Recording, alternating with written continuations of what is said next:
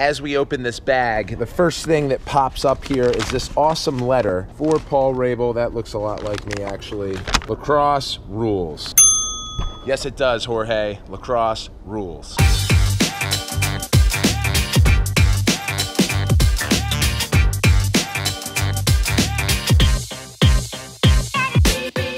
I don't think I'm smarter than other athletes.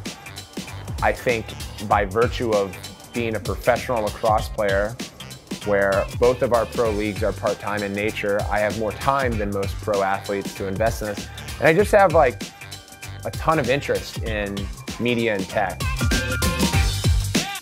Most professional athletes, a part of big time revenue sports, their audience is already baked in to the equation. They get drafted, the NBA talks about it, they promote them, and they, they get fans. They rely on what we call linear media. Linear traditional media does not cover lacrosse. I'm a lacrosse player. I'm a professional lacrosse player. There's a professional league. How can I grow? I need to build an audience. So at the advent of kind of social media proliferation was also the time I graduated from Johns Hopkins in 2008 where Facebook launched their fan page capabilities. So I looked at social media, specifically Facebook, as the only viable media outlet that I could build a connection with a lacrosse fan and communicate with them as often as I like. What's going on, guys? Ball here. Um, what date is it? Got my shaft here. Got a roll of tape. As we've seen over the past 10 years, social media has now turned into a form of new media, no longer alternative. It's the main form of media. So the fact that we were early adopters in Facebook and then even Instagram, Twitter has been beneficial. Have we monetized off of our YouTube channel, off of our podcast, on occasion off of Instagram through branded content? Yes. Um, but that can't be your strategy. And we try to identify our audience, where they are, what our story is, and how we can marry the two. We are in LA and we're underway. And we've got the boys. Chris, shout out. Where you from, man? Um, I'm from Orange County. Yeah! I'm Paul Rabil. And I'm Drew Westervelt. and we're gonna chuck a ball over the inner harbor.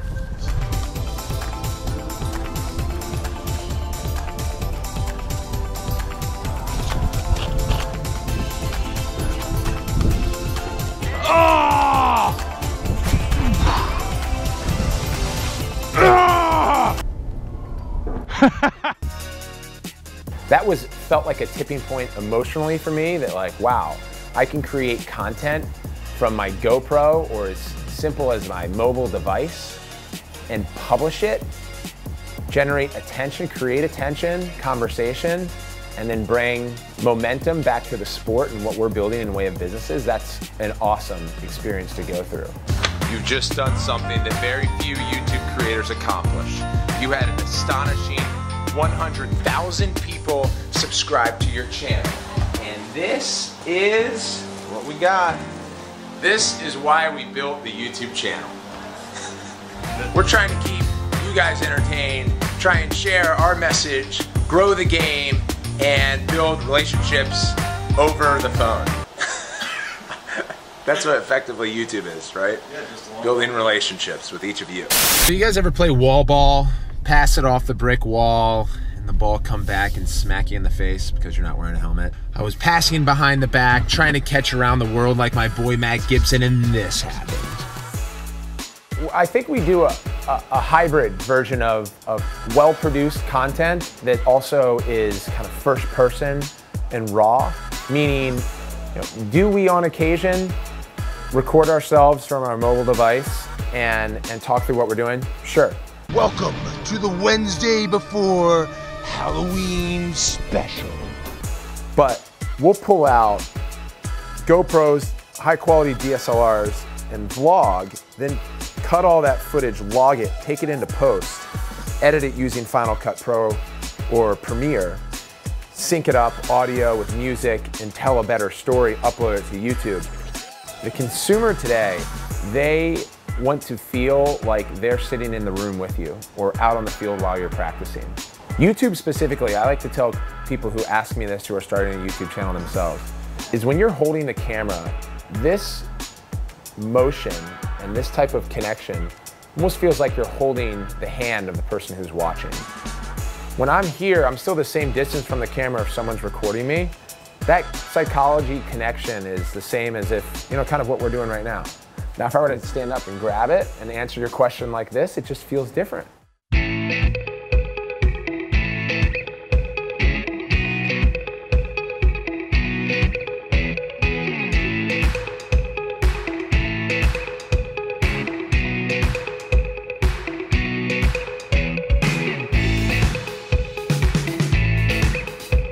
Paul Rabil Experience is a technology company. Rabil Events is an event business that utilizes technology to create a better experience than what we feel is out there in the marketplace. And one of the companies that I'm an investor in is League Apps, and they're a registration portal, also hybrid CRM, that allows us to plug in using their technology to our back office and give the users a customized experience on registration. And that's been useful because that also builds our database so we can communicate day of event, during the event, after the event, uh, which is critical to building a sustainable business is not just the property, the product or the service that happens, but everything leading up to it and after is how you build a loyal customership. Lacrosse is something that if story told properly, can really resonate and will continue to resonate with millennials and Gen Zs. We try to get to a point where people know, oh, that lacrosse guy's Paul Rabil, but you know, I would suspect before Tony Hawk really started cutting deals with ESPN and taking X Games to the next level with the right partners, people knew that there was a skater that weren't in the community that was making waves. Love to get Tony Hawk on our podcast. Tony, if you're listening. Why we like action sports so much is that they were comprised of early on the most athletes that were creating media and in really innovative fashion. What I like about Tony Hawk is he was able to maintain his success as an athlete while simultaneously telling a broader story, leveraging media, and, and helping grow that sport at a professional level. We're a part of a sport that's still in its nascent stage at the professional level, and by virtue of that, we have an opportunity to serve as a proxy for change, potentially the first like niche team sport to where we think at least take to mainstream. We can confidently say that there is no other athlete in any sport who's producing as much content on a weekly basis as we are and building the businesses that we are from scratch, from our event business to our technology company to the media that we're putting out. There's no other athlete on the planet that does it.